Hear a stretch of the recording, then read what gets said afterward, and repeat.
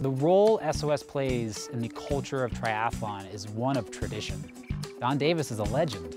He's one of those old school warriors. He's part of that 1970s tradition that triathlon was founded in, where you just want to see what you're capable of doing. And so he's cultivated that tradition and maintained it in this race. How are you going to keep your feet dry? I'm not. Swimming with these shoes? Yeah. Triathlon has gotten very corporate over the last decade or so, but SOS Triathlon has remained very pure, which is, I think, one of its standing legacies, is just how unadulterated this race is.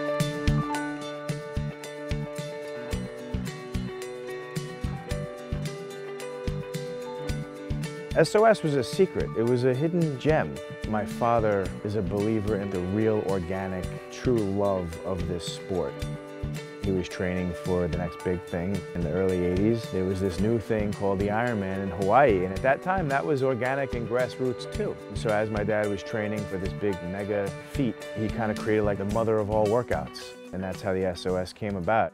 I chose to create something unique that would be an adventure. I always thought that when people embrace it and they consider me the creator of it, that I'm getting a little bit too much credit, but I'm really amazed at the dedication people have towards the race.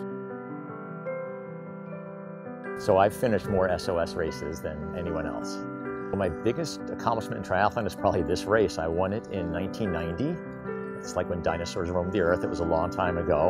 I've probably done about 300 plus triathlons, but I've always tried to come back and do this race. I can almost see portions of my life in regards to the race. Like we adopted my daughter 20 years ago today, two days before we came here. So I have a picture of me carrying her across the finish line as a four-month-old, and then there's pictures of her almost every year thereafter. So she's 20 years old now equipment's changed a lot, our, our notions of training and nutrition has changed a lot, but the kind of the core motivation thing, that just hasn't changed. What's made my father so dedicated to keep things so grassroots is love.